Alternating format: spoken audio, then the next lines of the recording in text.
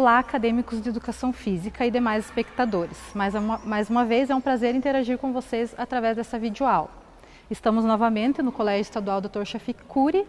É, o objetivo dessa videoaula é a gente ampliar as discussões a respeito da avaliação. Para isso, contamos mais uma vez com as professoras de educação física que atuam na educação básica. Inicialmente, faremos uma breve retomada a respeito dos conceitos de avaliação que nós já discutimos nos materiais disponibilizados no Moodle. Posteriormente, partiremos dos dois documentos norteadores do trabalho do professor, o, o, as diretrizes curriculares de educação básica do Estado do Paraná e também o projeto político pedagógico da instituição. Após isso, conversaremos com as professoras para que elas possam contribuir nas nossas reflexões a partir das suas experiências com a educação física. Nós vimos no nosso material da disciplina que a avaliação é um processo bastante complexo. Vimos também alguns conceitos de avaliação. Nós vimos que a avaliação pode ser considerada como uma avaliação diagnóstica, quando ela tem por objetivo é, mostrar ao professor o seu ponto de partida através do conhecimento a respeito do nível que os alunos estão em relação ao conhecimento, ao conteúdo a ser trabalhado durante a disciplina. Avaliação ela também pode ser é, somativa quando ela ocorre somente no final do processo, ou seja, quando a ênfase está nos resultados. A avaliação somativa ela tem por objetivo é, realizar uma avaliação de toda a ação que ocorreu durante o processo de ensino-aprendizagem. Porém, na maioria das vezes, nós observamos que essa avaliação se restringe ao aluno, ou seja, ela serve somente para qualificar, classificar e muitas vezes excluir os alunos que não se, se encaixam nos padrões estabelecidos. Nós temos um conceito de avaliação compreendida como avaliação formativa. Esta deve ocorrer em todo o processo, durante toda a ação pedagógica do professor. A avaliação formativa tem um, um, diferencial em relação à avaliação somativa, já que esta tem como objetivo incluir os alunos no processo, ou seja, o objetivo desses resultados da avaliação formativa é fazer com que os professores eles possam observar e definir as intervenções necessárias para que realmente possam garantir a aprendizagem de todos os alunos. A partir dessa breve retomada das discussões que nós já fizemos no nosso e-book, vamos partir para os nossos documentos norteadores e a conversa com as professoras.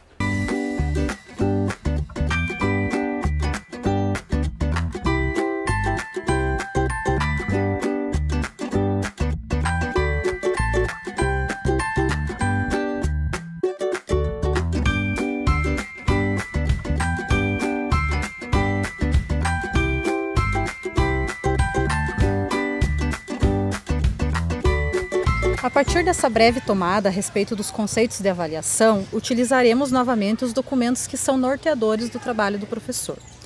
No projeto político-pedagógico da escola, nós temos é, três níveis de avaliação.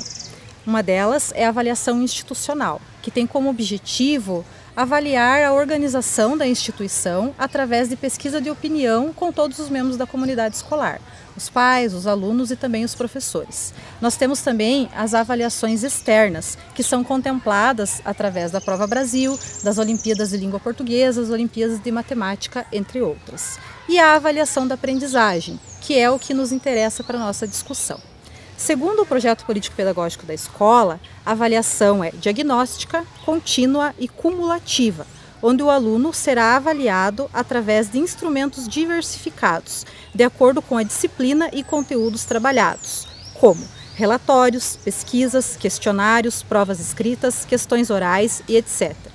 Durante o bimestre, o professor deverá utilizar dois ou mais instrumentos de avaliação diferenciados será realizada a recuperação paralela a todos os alunos, com vistas à efetivação da aprendizagem, a partir de novos encaminhamentos docentes e novos instrumentos de verificação. A cada avaliação realizada, o professor deverá atribuir nota de 0 a 10. No final do bimestre, a média será obtida através de cálculo aritmético simples. Então, é essa concepção que nós temos a respeito da avaliação no projeto político-pedagógico de uma maneira geral. Nós temos também uma concepção relacionada à educação física, que está relacionado também com esta. Em relação à educação física, as avaliações devem ser de utilidades tanto para o aluno como para o professor, para que ambos, ambos possam dimensionar os avanços e as dificuldades dentro do processo de ensino e aprendizagem. Serão avaliações contínuas, cumulativas e diagnóstica, levando em consideração as alterações próprias e características de cada educando. Também serão desenvolvidas avaliações dos alunos não só como autoavaliação, mas como reflexão sobre a metodologia e organização do processo de trabalho, dando subsídios para o professor avaliar seu próprio trabalho e planejar a sua continuidade. É, nós vamos compreender também a avaliação a partir das diretrizes curriculares da educação básica. Esse documento também, como norteador do planejamento e da prática do professor, ele traz uma concepção bem ampla a respeito da avaliação. Em um momento, ele também traz os desafios da avaliação no âmbito da educação física. As diretrizes curriculares do Estado do Paraná da Educação Física consideram então a avaliação da seguinte forma: no processo educativo, a avaliação deve se fazer presente tanto como meio de diagnóstico do processo ensino-aprendizagem, quanto como instrumento de investigação da prática pedagógica. No cotidiano escolar, a avaliação é parte do trabalho dos professores. Tem como objetivo proporcionar-lhes subsídios para as decisões a serem tomadas a respeito do processo educativo que envolve professor e aluno no acesso ao conhecimento. A partir dessa breve é, explanação a respeito dessas concepções, contamos mais uma vez com a contribuição das professoras para que elas possam nos auxiliar nessa reflexão a respeito da avaliação, considerando a especificidade da educação física. Professora Maria Luciane, para que serve a avaliação em sua prática pedagógica?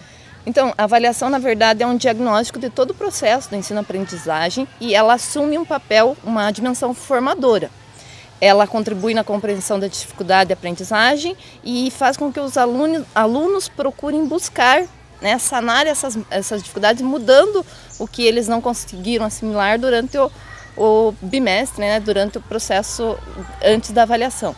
Então ela serve para essa busca, né, essa retomada. Professora Jaqueline, como ocorre a avaliação nas aulas de educação física? Quais que são os instrumentos e os critérios utilizados? Então, buscamos obter dos alunos uma evolução de uma maneira geral, né?